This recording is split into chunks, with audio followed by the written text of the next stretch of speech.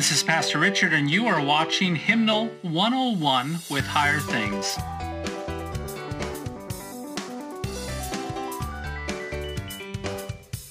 Antiphon, collect, canticle, vespers, matins, rubrics. Uh, what do these words mean and why are they used?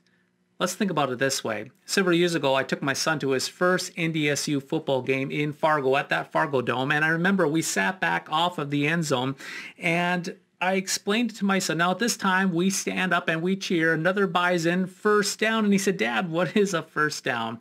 Dad, what is a touchdown? Dad, what is a field goal? Dad, what is interference? What do these words mean? You see, when it comes to football, there's a certain language set, a certain language that you must understand to comprehend and understand how the game is working. The same thing happens with baseball and the same thing happens with hockey and golf and so forth. If you're watching also maybe a movie with a lawyer movie, uh, the courtroom drama, there's going to be words such as objection, sustained, overruled, all these different words that are used that are part of that vocation, part of that sphere of context that are arranged for that particular purpose. Now, the same thing happens when it comes to the church and especially when it comes to, yes, that hymnal. Now, thankfully, one of the things you will realize when it comes to our hymnal, one of the very first things in the very beginning of our hymnal is this wonderful, wonderful tool, and it's called this. It's called a glossary.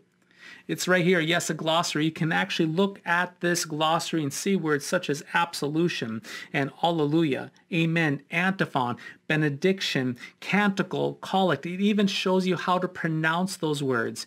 Now, the reason why this is so incredibly important for us as we go through Hymnal 101 is this. As we go through and we look at the divine services, as we look through the services such as Matins and Vespers, we may find ourselves scratching our head like my son at that first football game and saying, what does this mean? And that is absolutely okay and it's nothing to fret because we do have this glossary right before us that we can page back to and indeed see what those words mean, the history of those words, how to say them and how they function with our hymnal.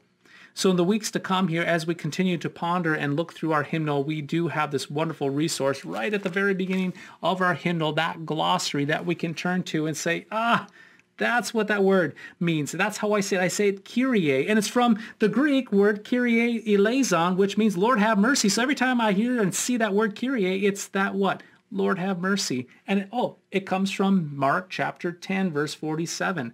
And uh, man, that's just a great thing to know.